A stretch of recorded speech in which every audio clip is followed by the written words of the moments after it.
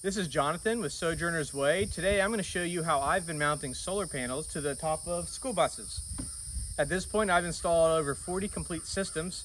I've removed uh, dozens of panels and I've installed hundreds of panels onto a lot of schoolies. I know what it takes and uh, I'm going to show you the easiest ways that I've found over two years of basically developing this system. Let's start with the parts that we're going to need. This is a simple green cleaning solution, microfiber towel, impact drill, regular drill. A set of gloves is nice. This is the rail I was telling you about. And these are the screws I use.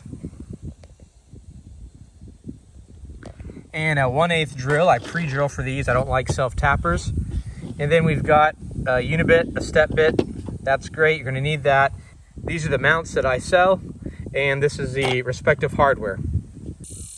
Now, one of the things I'm not a fan of is the Unistrut systems. That's where they take two pieces of Unistrut, mount it to the roof. The problem is you have a contour uh, radius to the roof. So the Unistrut mounts sideways, so they're kind of aiming out like that. It also leaves a track that basically can hold water, hold um, um, dust, hold dirt, particles, tree limbs, all that stuff. So not a fan of that.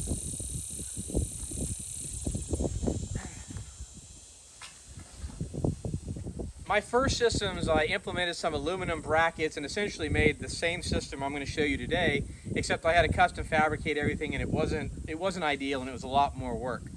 Then it dawned on me one day that, hey, people have been mounting solar to things for a long time. What are they using? So it's a question I should have asked much earlier on. So this is what's used in the solar industry. It's aluminum rail. It's got a track, a channel up here. It's got a channel right here. The channel on the side is what secures a bracket, and then that gets secured to the roof. The channel up top allows you to connect a bracket that secures the panel. So this is the part of the job that requires two people. Uh, one of the biggest issues you're going to come across is trying to find consistent markings on top of the school bus so you can put these rails as parallel as possible. Now, I've not found any other way to do this because counting rivets, measuring off the front or the rear or the sides is, is really difficult and I've not come up with consistent results. So I take one of these rails, I have someone on the ground come down and all they have to do is put a put the rail in a position that's consistent okay? In this case, the rail is contacting here and here. It's not contacting up there. And I'm also being intentional not to let it touch the ground. So the person on the ground holds it here while the person up top marks the spot. Then you move down to the next one, right in line with the rivets up top. You do the same thing. There are instances where the rail won't contact here and here, but it'll actually grab this one and this one, if that occurs, you have to either split the difference or skip over that one, go to the next one. On the roof, I'll show you how to resolve that. Once the person below has the pole in position, in this case, we're not able to completely get over here on top of the rivets because of the entrance. So we're gonna do our best and measure from where it's at. 22 inches is about the sweet spot. So mark the bus, move down to the next set of rivets. This one again isn't touching the rivets, but it's okay. We're gonna use it as a reference anyways. Mark it 22 inches. Once we've got marks, uh, like I said, sometimes you won't be able to get a consistent measurement off of there, so we do it right there in the blank area. So I've got the marking right here. Well, I just simply take the rail, line it up here, line it with the furthest mark, and then mark each set of rivets. These brackets come pre-drilled, and we're gonna always mount this system right over the rivets. Rivets are the strongest part of the bus. You've got this piece of sheet metal, you have this piece of sheet metal, and they're overlapping. But uh, then there's hat channel on the inside. That hat channel essentially is looking like that. So if we did the, the brackets right here, which would be much easier, you only get into both pieces of sheet metal. Whereas if you go right along with the rivets, we're also getting into the main frame on the inside. So in this case, we really want this guy to be right here, but there's a rivet right in the way. I'm going to show you how to resolve that. The safest way to do this part is probably with a drill press. but this is how I do it. I cannot recommend it to everyone. A regular drill does not work so well. Make sure this guy's sharp. Then uh, I just take this, I hold it in my hand. I do have gloves on, that helps. And if it were to catch, it would, uh, drill's rotating to the right, it would pop out this way instead of going back towards my hand. When I open this side, hit it just to put a chamfer on it. And now, it's going to be able to go right here without issue. But I need one more hole, which I'm going to put right here.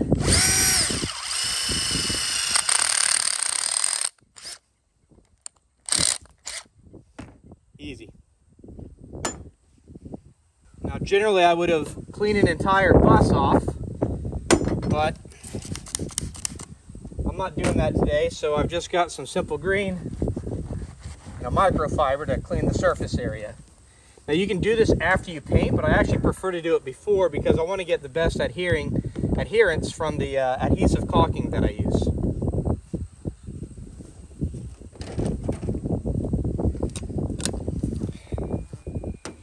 Which is a Sikaflex 295 UV, UV rated. This is not just a, like a caulking sealant, but it's also a very strong adhesive. At this point, you take your bracket, you put it in its location, mark your holes, get a good Sharpie, not something like this. Now we want to drill. We use a 1 8 bit. And anytime you're drilling metal, make sure you're at slow speed. We've got this guy in one. You're gonna do slow speed with mid to heavier pressure. That's how you do metal.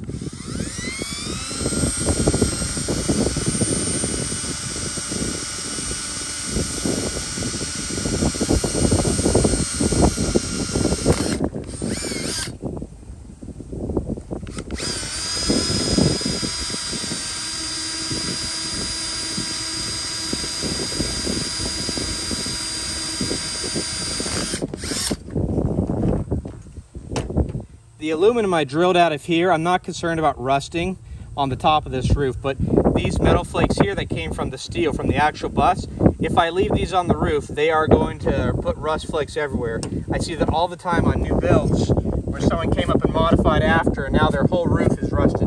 I'm going to take a blower and get all this off of here before even the dew settles tonight. For this part, you're to need a quarter inch drive.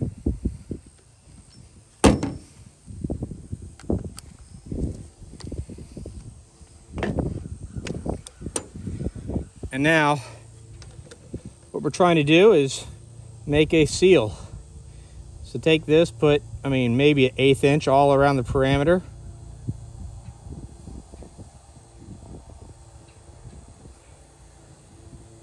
All around the perimeter.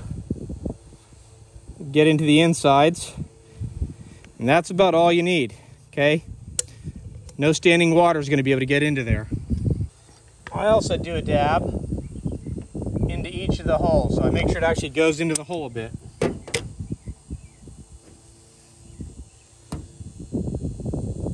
Now this goes right into its location.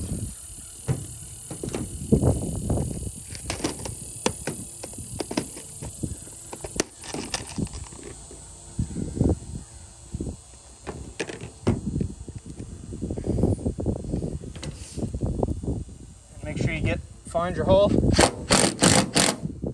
do just where it oozes out just a bit on the bottom. Then I go to the top side.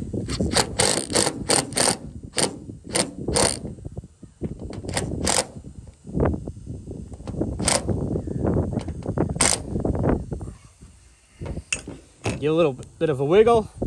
That's just fine like that.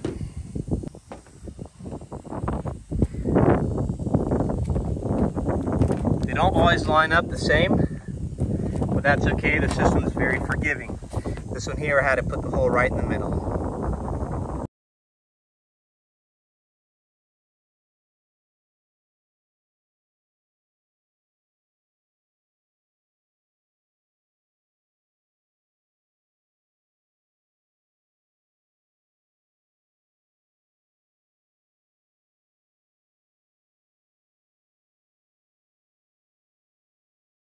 The rail system is very forgiving. The focus would be to make sure that the front mounting bracket and the rear mounting bracket and all the ones in between are in line. Beyond that, if for some reason the two parallel bars are slightly off, you know, not perfectly parallel, the system works all the same, right? So it's just a cosmetic issue. So our object here is to use these large panels, which I'll discuss a little bit later in the video. In fact, they're just like the one on the golf cart.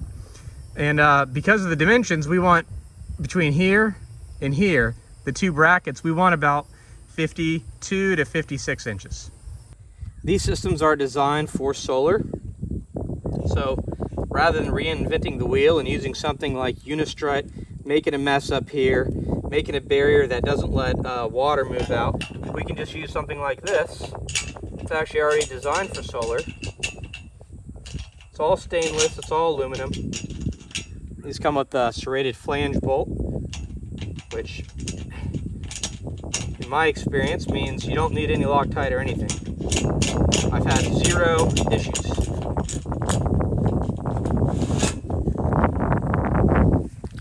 Tighten that down with the socket, you're done. Both rails are now on. I've got about a half inch difference. I'm like 53 and a half from uh, outside to outside on this side. And on this side, I'm like 54. That's so inconsequential. No one will think about it. No one will notice. Another, uh, a couple notes. Don't try to dress up the adhesive caulking. Uh, you're just making a mess out of it. Put it on there, let it squeeze out, let it go. The solar panels are gonna have plenty of breathing room because obviously there's room out to the sides. I like to have it as low profile as possible. Half inch to one inch off center is just fine. They make um, some attachment points I'll drop in some footage of that allow you to uh, connect your cables all the way down to wherever you're dropping into the bus for your electrical distribution panel. You're going to use a entry gland, looks like this, to bring that into the bus. Nice and clean, simple, and I use the same adhesive caulking.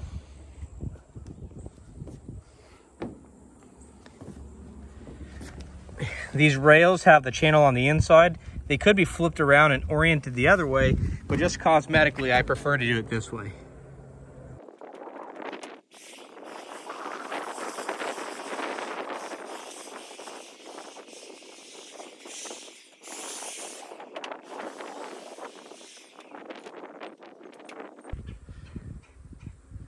So there you have it.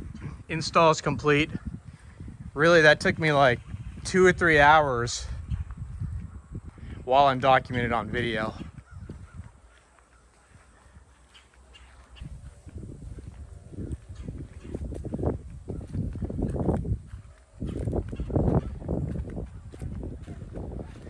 Now this bus has a hump where it drops down. Some of the buses, and I'm planning on doing the panels behind that so it's kind of flush. Some of the buses do the opposite. They actually have a raised roof so the, the bump actually goes up. In those cases, if the rail overlaps, you actually need a larger, a longer bra bracket, which uh, I have those in stock. I have them custom made as well. A few notes about this system. As I said, I've got it on 50 or so buses, 40, 50 buses. I've sold the rails to a handful of people. They've installed themselves without issue.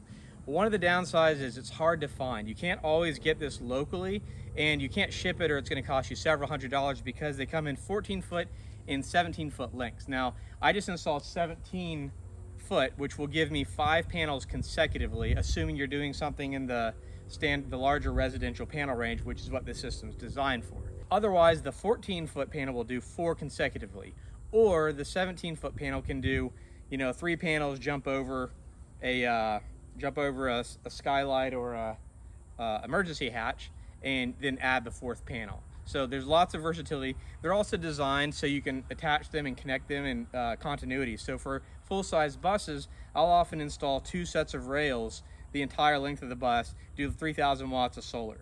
They also come with these handy uh, attachments. Well, they don't come with them, but um, I'm selling these now with the systems so you can keep your wires all nice, neat, and clean and organized.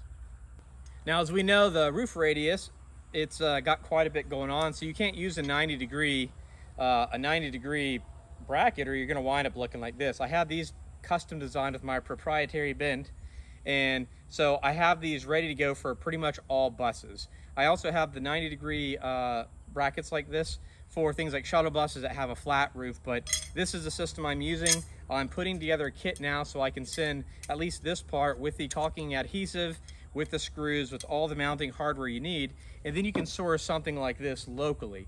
There's a handful of brands out there doing it. IronRidge is one of the really common names.